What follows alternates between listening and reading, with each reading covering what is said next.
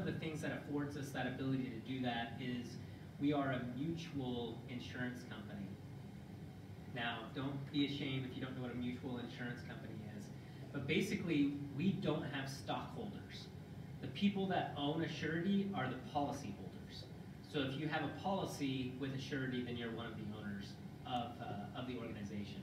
And so what that does is, is if we make a bunch of money, it doesn't really matter. You know, we have to stay solvent for our members. But as we have things, as we pay out and we are able to pay out these claims, those are things that we celebrate internally here within the organization of saying, hey, look, you know, we paid out $300 million this year in, in life insurance claims, right? These are, you know, this is a way for us to help people through difficult times, which is our mission of really trying to affect uh, and help people as they have to undergo some of these traumatic, traumatic and difficult times. Uh, but we've been around a really long time. So been around about 130 years. And over those 130 years, you can imagine, we have built up some bureaucracy. Uh, and, uh, and, and it's kind of this weird conundrum, right? We have been successful as an organization because we are conservative. And we're not, uh, and we, we understand the risk that we're taking, and then we price it accordingly. Well, when you start thinking about innovation and doing things differently, it then becomes a little bit more difficult. So some of the things, as you're looking at uh, insurance, like you come in and you say, okay, how much do you make if I come in and I get a, say, a, a million dollar life insurance policy uh, for, you know, a thousand dollars a year or something? We don't know exactly how much we're going to make on that policy. A lot of it depends on how long you live. So we do our best guess of figuring out when you're going to die, and then we price it accordingly. So if you try to do something new or different, or with a new group, now all of a sudden we don't know how that group is going to act, or how that risk is going to be pulled together. So we may not know for 10 years whether or not it was a good idea. I, I like to, to talk about it as bowling in the dark. You've got, uh, you flip the lights on, you see where the pins are, you shut the lights off, you grab your ball, you roll it down, you kind of hear something going on down there, and then you flip on the lights 10 years later and figure out how many pins you knocked down and how well you did. Uh, now, we've got a lot of data, and we've got, you know, we've got over a century's worth of data to be able to guess more appropriately if we're making money or not. But that's one of the things that, that faces us. We've got a ton of data, but haven't been really good at analyzing and understanding that data and how to use that to improve mortality rates. Uh, there's also over 130 years, you can imagine, you know, Assurity is a conglomeration of three different companies uh, that were melded together here uh, in Lincoln. Well, they all each had different systems that they were working on. So you've got all these different systems, so even just getting it onto one system, and then you got to think hundreds of thousands of policies on these systems. And so when you want to try to do an upgrade, you've got all these older systems, and it's very, very painful. So it's difficult to move fast. The other kind of major problem that is facing the insurance industry is how do you typically buy insurance? We go through an insurance agent. So it's this face-to-face -face kind of interaction. And that's the way I would say about 99% of all insurance is sold. So you have this conundrum of you have these insurance agents that are selling face-to-face, -face, which is difficult to scale. So you've got these huge organizations. Well, there's one other thing. How many of you guys have been wanting to become an insurance agent? I raise of hands. Okay, so nobody woke up going like, I want to become an insurance agent. Like, that is my calling in life. That's what I'm going to do. So, the average age of an insurance agent now is about 57. Uh, so what happens in another eight years? And a lot of these insurance agents have made a lot of money. I mean, we're talking, they make a lot more money than most of us here. I would say they make more money than most of us here, right? They make a lot of money doing this, but nobody wants to go in and become an insurance agent. So you've got this aging demographic, so are people just going to stop buying insurance policies?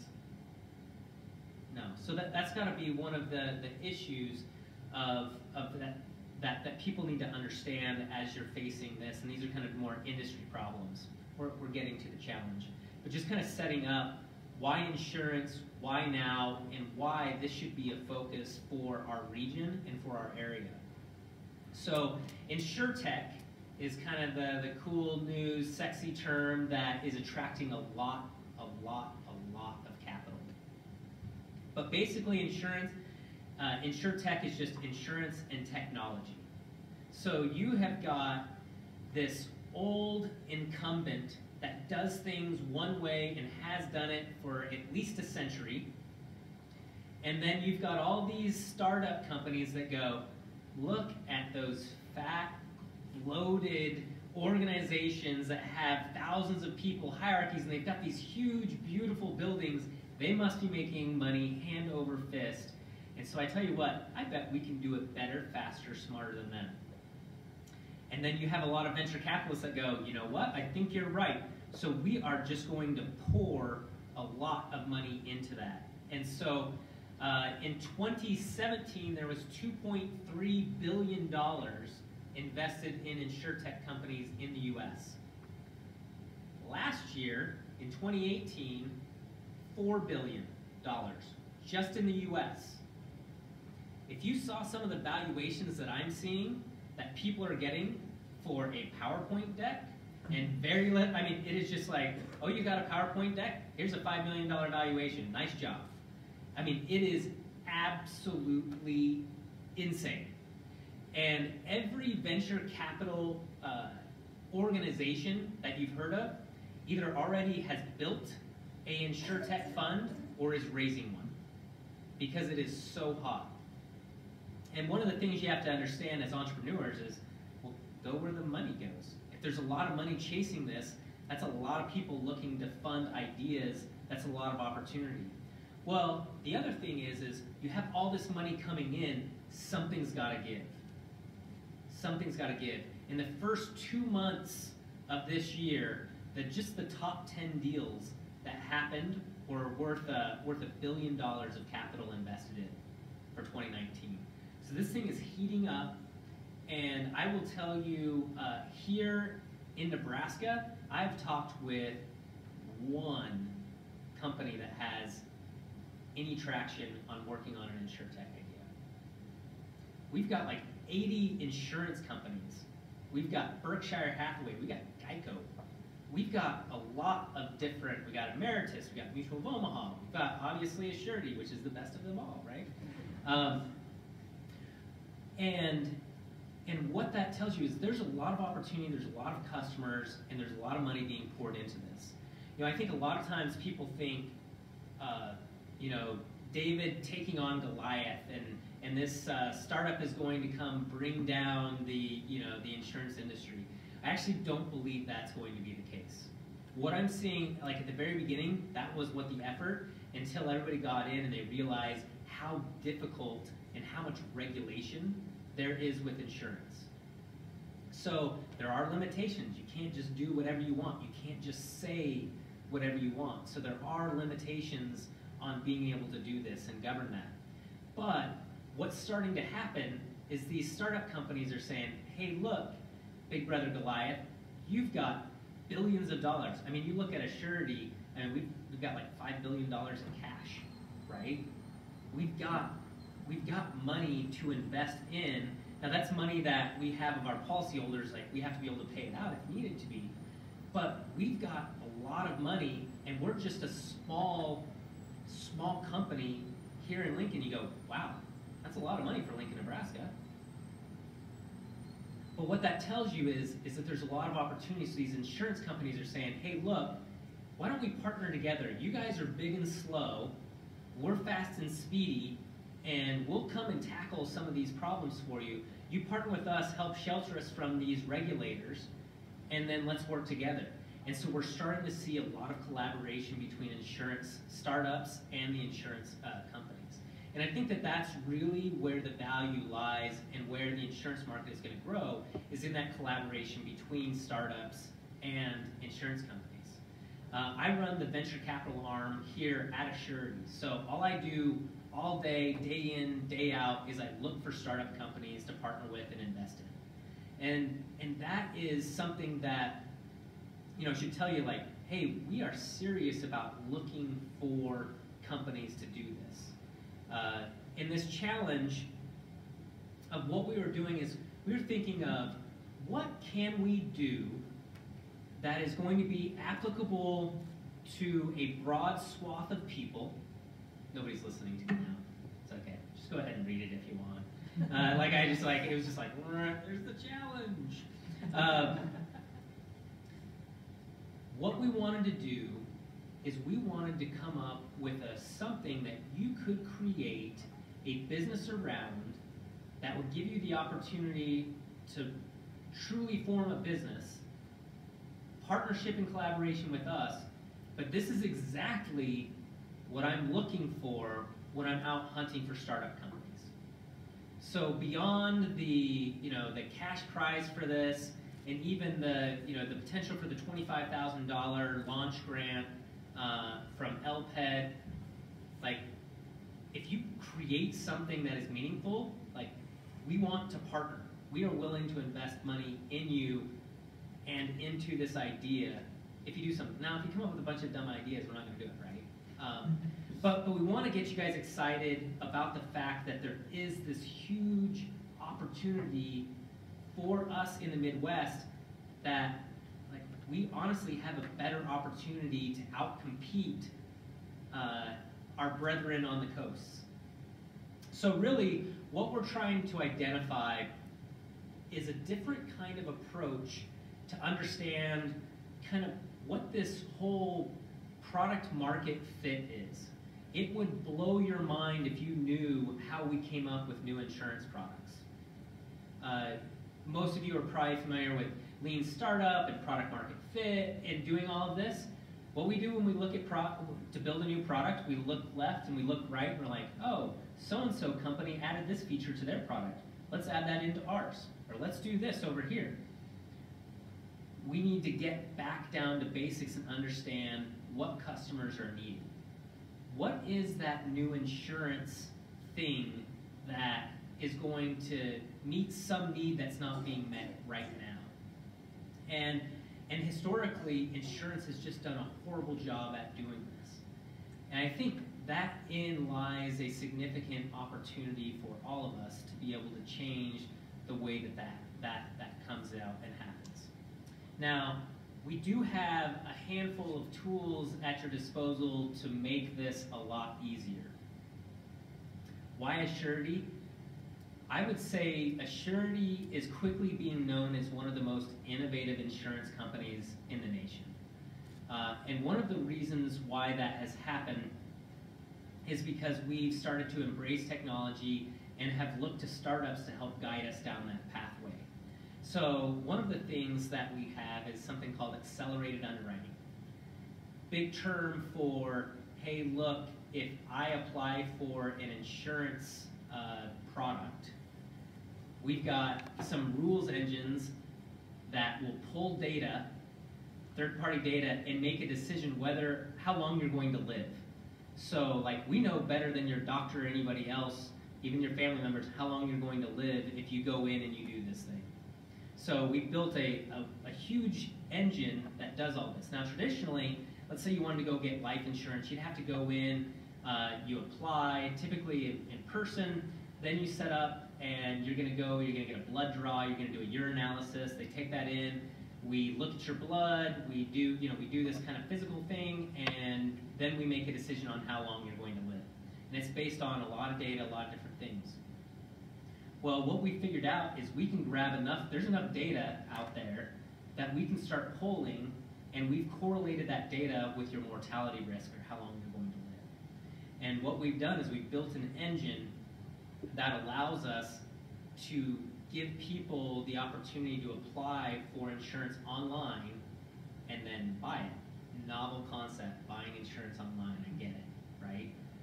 But up until just recently, that was not an option unless it was a, a really highly priced product that they just assumed everyone was sick. And they just had to make it really uncompetitive. So we've been able, through data, to narrow that down to giving you a competitive product with the same type of pricing as you would have to come in and with a blood draw. And the best part is, is instead of figuring out what we thought people needed and how we would approach that, is we built a whole API overlay over our decision engine. So we said, hey, look, we get it. We're a, you know, we're a stodgy insurance company, and you insure, you insure tech startups can do it better. So here's your APIs. Why don't you go figure out how to tap into our back-end engine, and you figure out what is going to be the best way to overlay these products into some different affinity group, some different channel, some different buying process, some different lead generation source and say, hey, look, if we tweaked this, this, and this, we could really just flow those people through. Maybe this is just an add-on purchase into something else. Hey, I'm going skydiving today, and as I go to sign up for skydiving, I, you know, pay an extra five dollars, and if I die, they pay me, you know, they pay my family a million, right? Who takes that bet when I'm going skydiving? Like five bucks? Pay 10, 20? I don't know. That's product market fit. But giving you an idea of saying, hey, look, instead of going through this process of long, maybe it's a micro insurance. Maybe it is something that is different. The beauty of it is, is we don't have to come up with all the answers. We just put it out to, to the startup community and entrepreneurs and say, hey, look, here's some tools for you to be able to do this. So this website right here uh, gives you a portal to sign up to gain access to the credentials to get your API credentials. Now in there, we've got a handful of products that are already developed on that have API access into it. So that's why these three products are listed. We do a lot of different products. But we've, uh, we've, we've already built in the API access for critical illness, disability, income, and term life. So for those that don't speak insurance speak uh, and don't feel bad, like critical illness, I didn't know existed until I started to work for Assurity. Uh, critical illness basically means if you have a heart attack, we'll just pay you out a lump sum. If you get cancer, we'll pay you out a lump sum. Any critical major illness, you have a stroke, you have these other things, we just pay you out a lump sum. And so you look and you go, oh, my dad had a heart attack at 60, my grandpa had a heart attack at 60. I had like, you start going like, oh, maybe I should get heart attack insurance. Same thing as saying that's critical illness insurance.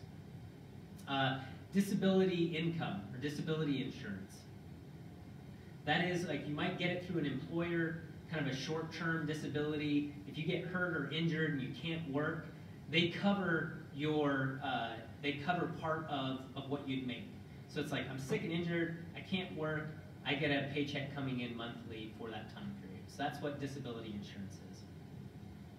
And just a, a side note, I personally believe that disability insurance is one of like the best insurances that people have, and it's completely underrated.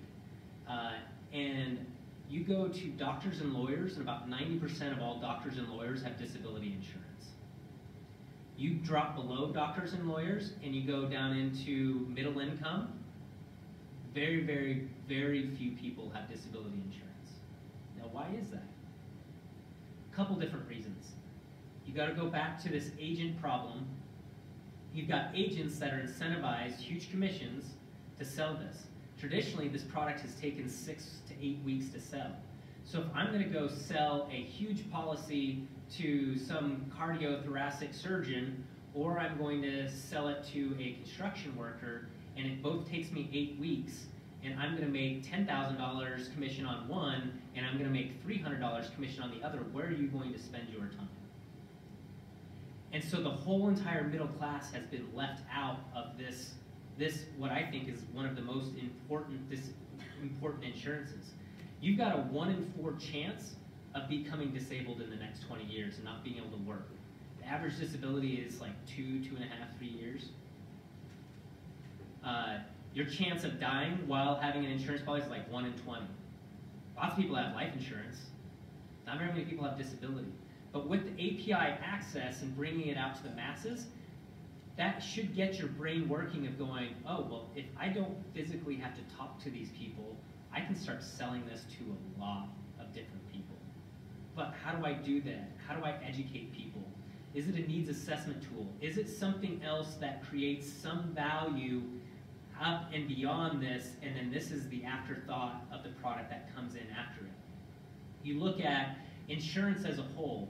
So uh, the insurance market is is very large. I don't know, it's like a trillion dollars in the U.S. I mean, it's, it's huge. Uh, disability income is about a, you know, it's a small, it's a small chunk. It's like 16 billion dollar industry. Uh, but you got to think of that compared with the larger insurance industry. It's, it's very, very small. Now, insurance, like life insurance, has been about stable for the last couple of decades. Same amount of revenue. Now, what's the problem with that? Our population is growing, but the income is staying the same, which means fewer and fewer people are actually getting that insurance, which goes back to that we're missing something. Millennials, not buying life insurance. How do you figure out, like, why are we missing that channel? Does it need to be a new type of insurance? As I listed down these things, I listed the, the three different products We've got like 26, 32 products, I don't know, of different insurance products that, that Assurity does. We've got the APIs for these three for the decision making. We've got quoting access for APIs for a lot more, but the actual decision online are those three, which is why I listed it. Now for this challenge, you can come up with a whole new different type of insurance. It could be something that doesn't exist out there. Um, and, and we're not going to dock you for that. It's a great idea. We're just saying, hey, look, here's some tools for you to be able to utilize to do this. So if you come up with something random and different, that's great. If you want to come up with something that's in the insurtech industry in general, that's fine as well. You know, I will tell you that, you know, the challenge winners are going to be something in the life or supplemental health space. Uh, you know, unless it is a P&C property and casualty, like a homeowner's buying insurance that then could cross-sell in something else, right? It's got to somehow benefit, I always call Assurity the mothership. Uh, you know, it's got to figure out how to benefit the mothership in some way, shape, or form, but doesn't have to, you don't have to feel like you're tied into this tight box. But just to kind of make it, you know, more applicable to other people, uh, it, uh, we, we've kind of broadened that up. So a handful of limitations, just so you know, uh, part of the industry. So there are some guidelines put out by the National Association of Insurance Commissioners, or NAIC for short, and they've got marketing guidelines of things that you can and cannot say. Um, there are rebating laws. Basically, you can't say, if you buy, uh, if you, uh, if you buy this policy, I'm going to give you this. Um, so there, there are some rules and regulations of doing that. Now there's always ways to go around and present different ways, but just know that there's some limitations there. Also, to sell an insurance policy, you have to be a licensed agent. Now, it's fairly easy to become a licensed agent, and I'm not telling you you have to go out and become a licensed agent. Just know that as you are, if you get some crazy ideas that you're like, hey, I'm going to go out and I'm going to sell a bunch of policies, uh, you know, before, you know, the next couple of weeks and prove that this works, just know that that's illegal. Uh, unless you're tied in with another insurance brokerage or, or someone else. If that's something that you're interested in, by all means reach out to me. I can pair you up with someone that would be, and you can work out some type of lead generation fee or something else along those lines. Also, uh, if you are interested, and, and we put the APIs out there as a, uh, a potential for you to use. You don't have to incorporate them. It's just, it's a really cool tool. To give you an idea, one of our startup companies this last year went from $0 in revenue at the beginning of the year to the end of 2018 and receiving a $100 million valuation by tapping into our APIs. Uh, that is the power of what I'm throwing out there. And we've got a handful of other companies that are tapping into it that all have raised at least 45 to 60 million dollars. Like there is money out there to invest in companies that do that. So that's why I'm throwing that out there. You do not have to build into it, just letting you know that they exist out there. Uh, the other thing that would be available for anyone that is interested in building into the APIs, uh, happy to set up about an hour demo uh, where we walk you through of here's what's available. We also have uh, uh, basically, you know, here is all of uh, here are all the guidelines, and here are uh, your product guide for being able to do that. So there are a lot of opportunities there, uh, but kind of overall, just letting you guys know, this is a pretty exciting industry to be in, especially right now. You know, maybe 10, 15 years, this will blow over, but this is definitely the new fintech wave, and there's a lot of money being put in here. So I think it uh, it would be pretty exciting to have some companies based out of the Midwest come up and do this. So anyway, I'll open it up to questions unless everyone is completely befuddled and has like no clue. We tried to make the challenge